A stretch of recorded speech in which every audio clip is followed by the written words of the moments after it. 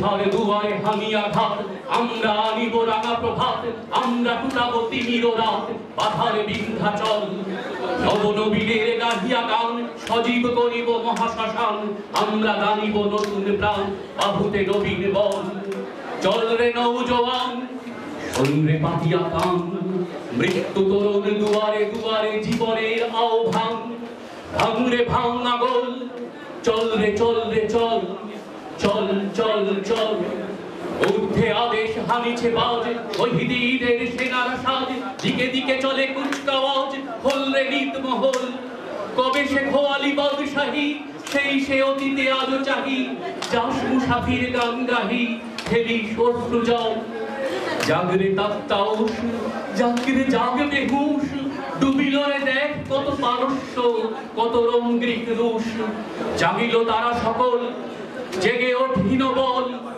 আমরা গড়িব নতুন করিয়া ভুলায় তাজমহল।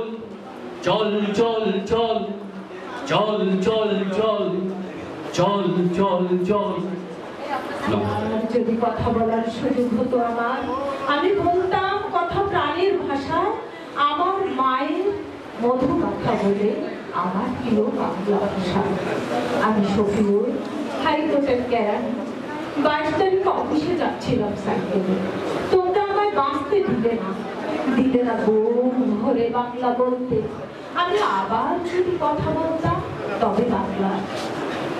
আমি ময়মনসিংহের জবা তোমরা মায়ের বাপ কেড়ে নেবে কিনা আমি তো চুপ থাকতে পারি না। শাশুড়ি মা আমার হাসপাতালে। যেই না আমি যোগ দিলাম সমাবেশে, অমনি আমায় নির্বাক করে দিল। আবার যদি জীবন হতো আমার, আমি গাইতাম গান, বাংলা ও বাঙালি। এ আমি তোমাদের গল্প। বাংলাদেশকে দেখেছি, পূর্ববঙ্গ হিসাবে, এই বাংলাদেশকে দেখেছি, আমি পূর্ব পাকিস্তান হিসাবে, এখন দেখছি বাংলাদেশ, পৃথিবীর একমাত্র বাংলা রাষ্ট্র। সুতরাং এটা বাংলাদেশের বাঙালিদের দায়িত্ব।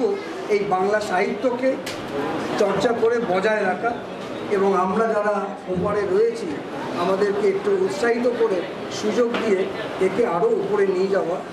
আমি প্রধান বিচারপতি মহাশয় এবার সাক্ষী রাখছি আপনাকে যে এই দায়িত্বটা এবার আপনাকেই নিতে হবে যে যাতে বাংলাদেশে বাঙালিরা বাংলা সাহিত্যকে টিকিয়ে রাখতে পারে, চর্চাটা বজায় রাখতে পারে এবং আমরা যারা বাইরে অনেক কষ্টে বাংলাকে বাঁচিয়ে রাখার চেষ্টা করছি তাদেরকে নানাভাবে উৎসাহিত করতে পারি। আমি আর বেশি কিছু বললাম না। অনেকেই অপেক্ষায় রয়েছে কবিতা বলার জন্য। নমস্কার।